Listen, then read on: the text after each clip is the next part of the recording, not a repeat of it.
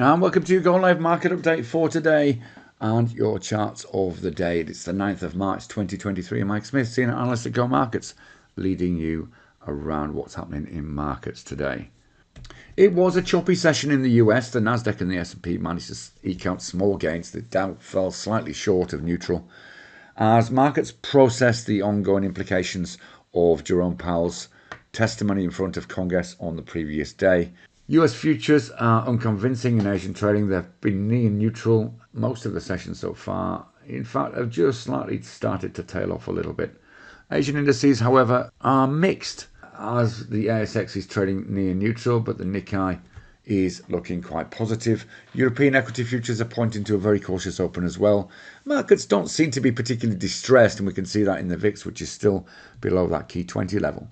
In the FX world, US dollar index paused at four month highs yesterday. Gold stabilized around about 1815 from now. Remember, it had that big drop from 1850 the previous day. And copper had a nice bounce yesterday. It was a choppy session, but it's back over that important $4 level. And we saw oil drift down again, and market seems very uncertain about the direction of oil in the short term.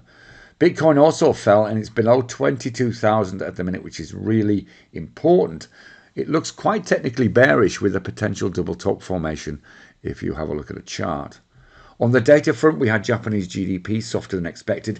Chinese PPI and CPI are already out, and they again were quite soft, which is good, suggesting inflation is dropping in China. And we've got the weekly US jobs out later, which again is a really important number. Market eyes will be on the non farm payrolls tomorrow, which is obviously a key data point that monthly US employment number is one that the Fed looks at very vigorously. A couple of charts that caught our eye today. On the FX front, we like the way the euro yen is shaping up. Australian dollar weakness across the board this morning. You can see it's moved back up to this 160.25 level, which looks really important on the 30 minute chart.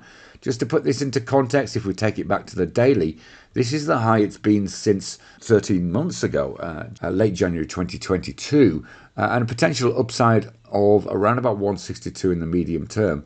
In the short term, I think there's an opportunity which may be worth having a look at there providing this buying momentum continues. At this stage, the volume is quite low, but it's worthwhile checking out where this goes during the course of the day. On the ASX, we're wondering if PLS is worth a look. You can see this support of the 200 EMA being very much in place over the last few days. And we do have some buying pressure coming in today, which looks interesting. What I would say is that key level on this is around about this 432 level. So it may well be worth just hanging on for a few hours just to see where this closes towards the back end of the day. And if it doesn't, then relook at it tomorrow. In the medium term, a potential price target of around about 460 is not unreasonable. You can see technically it was support during the last time it was over $5 at the back end of January, early Feb. And that's increase of around about 8% from where we are now. So there could be an opportunity there, but be patient and wait for the right setup. Trade safe, and we'll see you again soon. Bye bye for now.